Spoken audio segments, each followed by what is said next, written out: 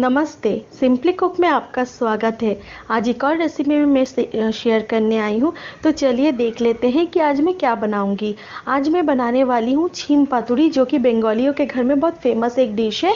एकदम veg recipe है ये, और छीम को हिंदी में सेमी कहा जाता है। तो चलिए देखते हैं कि इसकी बनाने की विधि।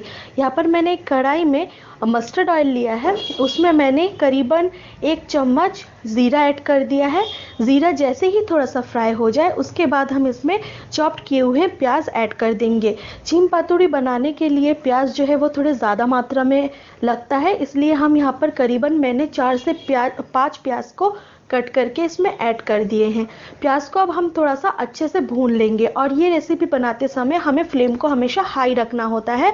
तभी ये जो छीम पातुड़ी है, ये बहुत अच्छा बनता है। हम इसे अच्छे तरीके से फ्राई कर लेंगे प्याज को। जब तक कि प्याज का रंग थोड़ा सा बदल ना जाए, तब तक हम इसे दो, करीबन दो मिनट के लिए हाई फ्लेम में पहले फ्राई कर लेते हैं।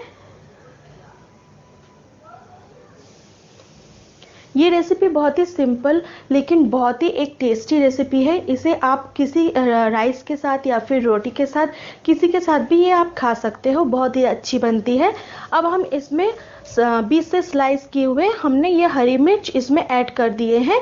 थोड़ा सा इसमें जो मिर्च है वो थोड़ा ज़्यादा लगता है क्योंकि ये तीखा बनता है और ये बहुत ही टेस्टी होता है। इसमें थोड़ा सा स्वीटनेस और थोड़ा सा तीखा बन, बन बनता है तो ये और भी ज़्यादा स्वाद आता है इसमें। अब देख सकते हो इस छेमी को मैंने पहले से ही उबाल के रखा है। छेमी जितना आप क्वांटिटी में छेमी लोगे उससे डबल क्वांटिटी में आपको प्याज लेना होता है। छेमी को मैंने पहले से थोड़ा सा नमक दे के पानी में उबाल लिया है। अब हम इसमें छेमी देके इसे अच्छे तरीके से फ्राई कर लेंगे।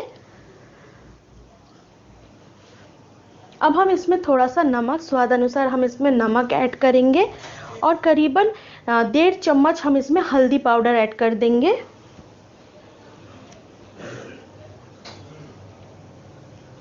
अब हम इसको अच्छे से चला लेते हैं।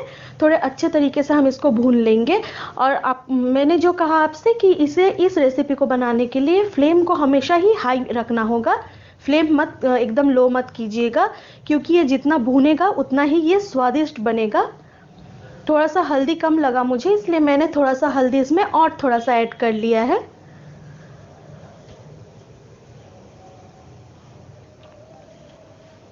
अगर आपको मेरी रेसिपी पसंद आती है तो प्लीज़ लाइक शेयर और कमेंट ज़रूर कीजिएगा। और अगर आपने मेरे मेरे चैनल को अभी तक सब्सक्राइब नहीं किया है तो जल्दी से मेरे चैनल को सब्सक्राइब कर लीजिए, जिससे आने वाले और भी वीडियोस के नोटिफिकेशंस आपको मिल सके। अब हम इसमें करीबन दो चम्मच जो है वो शुगर ऐड करेंगे। इसमें जो मिठास और ये हरी मिर्च का जो तीखापन है, बहुत अच्छा लगता है खाने में। अगर आपको मीठा पसंद नहीं है तो आप थोड़ा कम भी ऐड कर सकते हो, लेकिन यकीन मानिए, इसमें थोड़ा सा मीठा बहुत ही अच्छा लगता है खाने में। इसे हम पाँच से सात मिनट के लिए हाई फ्लेम में इसी तरीके से पकाते रहेंगे और देखिए, ये पक के बिल्कुल एकदम मिक्स हो जाएगा। ये देखिए, ये अब बिल्कुल रेडी हो चुका है भुन के। अब हम इसको एक अलग से बोल में निकाल लेंगे। आज की मेरी ये रेसिपी बस यही तक। नेक्स्ट रेसिपी लेके मैं बहुत जल्द आऊँगी, तब तक के लिए